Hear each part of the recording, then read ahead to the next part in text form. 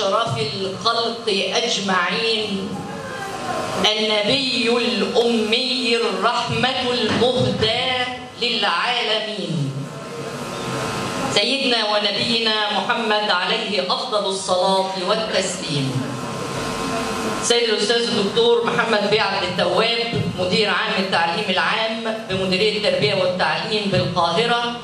سيد الأستاذ الدكتور نبيل بيه جعفر مدير عام إدارة الزيتون التعليمية السادة رؤساء مجلس رؤساء مجلس الأمناء والآباء والمعلمين بمديرية القاهرة وإدارة الزيتون التعليمية الأستاذة نعمة محمود مدير إدارة التربية الخاصة بمديرية القاهرة وجميع العاملين بالتربية الخاصة بمديرية التربية والتعليم بالقاهرة السادة والزملاء المعلمين والمعلمات السادة الآباء والأمهات أبناء الطلبة والطالبات إليكم جميعا سلام الله ورحمته وبركاته.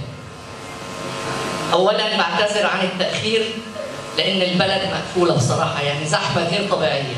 بس الحقيقة أنا كنت حريصة أن أشارك معاكم في هذا اليوم لأن أبنائنا من التربية الخاصة الحمد لله رب العالمين أثبتوا بجهد السادة المعلمين انهم على قدر المسؤولية اللي يقفوا بيها أمام فخامة رئيس الجمهورية السيد عبد الفتاح السيسي في الملتقى العربي الأول لذوي الاحتياجات الخاصة الذي عقد بمدينة شرم الشيخ وكان على المسرح الأصم بجوار الكفيف بجوار الإعاقة الذهنية بجوار الطفل الموهوب جميعهم أنشدوا أنشودة واحدة.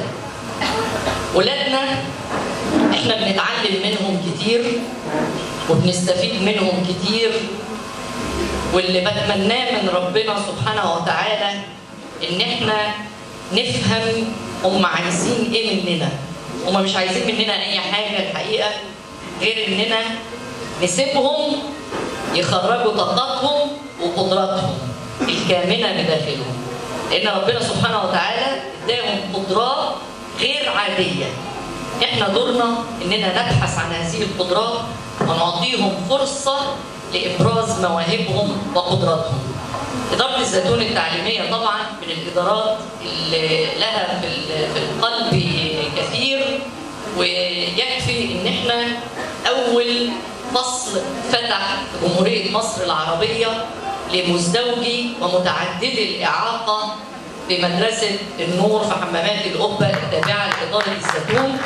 وده بنحتسبه إنجاز عند الله سبحانه وتعالى لأن هذه الفئة لم تكن مدرجة على خريطة وزارة التربية والتعليم منذ بدأت التربية الخاصة في مصر عام 1897 فالنهاردة في 2018 لما الأصم الكفيف يلاقي فصل ويلاقي مدرس ويلاقي احتواء يبقى الحمد لله نقدر نقول إن إحنا عملنا حاجة. شكرا مش هطول عليكم كفاية التاخير يعني.